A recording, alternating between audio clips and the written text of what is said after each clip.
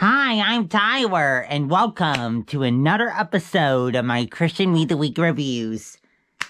Each week I take five releases, be it LTPs or singles, and after, and after I listen to them all week, I come back here in our feed and I share what I think about them. So without further ado, let's get to this week's first release Brandon Heath's new album, Enough Already.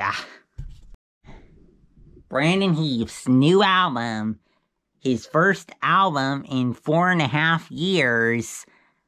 Enough already. Let's dive into it.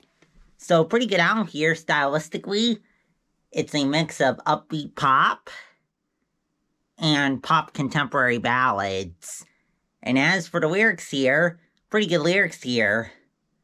Brandon talks about how God's true love changed him from the past of being blind into lies, that he had to earn God's love by being good enough, to a new redeemed reality as a fearless child of God that Jesus gives when he rests in the fact that God says he's already loved enough to be welcomed at his table and and where he surrenders control of the trials in his life to God, his unendingly faithful rock that will see him through to the other side.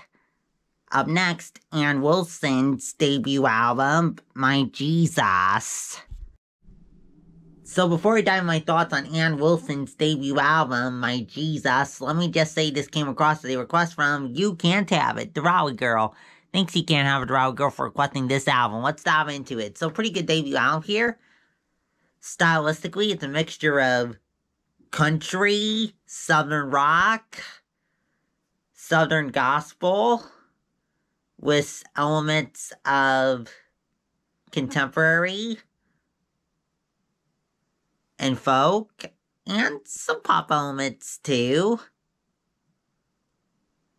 The last couple songs definitely have a worship feel to them.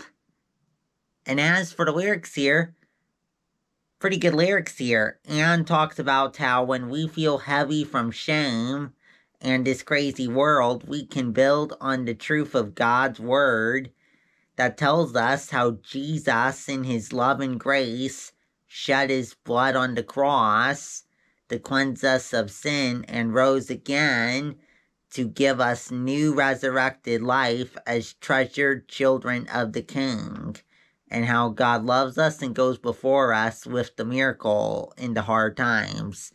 Up next, Life Church Worship's new EP, Grace Upon Grace. Life Church Worship's new EP, Grace Upon Grace. Let's dive into it. So, pretty good EP here. Stylistically, a worship EP that at times incorporates pop rock elements as well. And as for the lyrics here, pretty good lyrics here. They talk about how we got a joyful inheritance even in the hardest valley, knowing that Jesus, who has always loved us, died on the cross to pay the debt of sin and set us free from death, rose again to give us the new life we're meant to have, and his spirit is with us and goes before us for our good as our closest friend. Up next, planetboom's new album, You, Me, the Church, That's Us, Side B. planetboom's new album, You, Me, the Church, That's Us, Side B. Let's dive into it. And no, I did not review side A, but I went back and listened to that, and that was pretty good. Side B is pretty good too. Stylistically, the first half of side B has an electronic hip hop with some rock influence sound in the sound. And the second half is more of a conventional pop worship sound.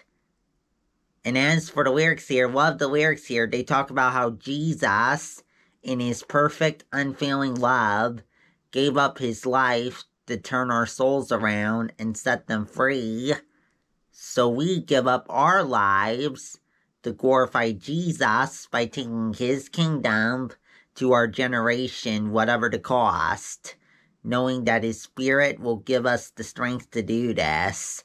Up next, our last release for today Nu Tone's, new EP, 1987 Dreams. Nu Tone's, new EP, 1987 Dreams. Let's dive into it. So, pretty good EP here. Stylistically, a lo-fi and R&B influence to pop sound. Vocally, Nu Tone with the rapping, and his guest artists mm, do the singing on the hooks.